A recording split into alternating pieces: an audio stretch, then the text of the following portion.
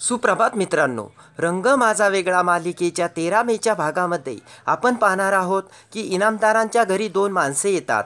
तेव्हा सौंदर्य आदित्यला कोण आहेत हे माणसे असे विचारते.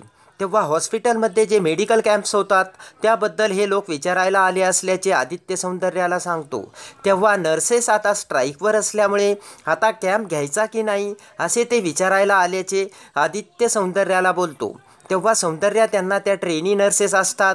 तेव्हा त्यांच्याऐवजी दुसरी काहीतरी व्यवस्था करू. तेव्हा तुम्ही काही काळजी करू नका. कॅम्प हा होणारच असे सौंदर्या त्या लोकांना ठणकावून सांगते. आणि ते लोक तेथून निघून जातात. तेव्हा ललित सौंदर्याला नर्सेस स्ट्राईकवर असताना कशाला कॅम्प ठेवला? असे विचारतो. तेव्हा तो कॅम्प ठेवण्यात सौंदर्या तिचा स्वार्थ असल्याचे ललितला सांगते. कारण आता दीपा कार्तिकला एकत्र आणण्यासाठी सौंदर्याला दीपाचा भूतकाळ परत एकदा समोर आणावा लागणार असल्याचे सौंदर्या ललितला सांगते.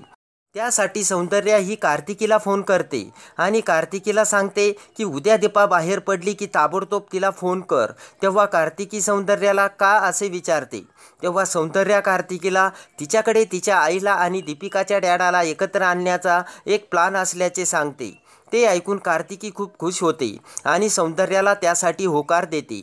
तर आता सौंदर्या दीपाचा भूतकाळ समोर आणून दीपा कार्तिकला कसे एकत्र आणते हे बघण्यासाठी आणि रंग माझा वेगळा मालिकेच्या डेली अपडेटसाठी बेल नोटिफिकेशनवर क्लिक करून आपल्या चॅनलला लाईक करा सबस्क्राईब करा.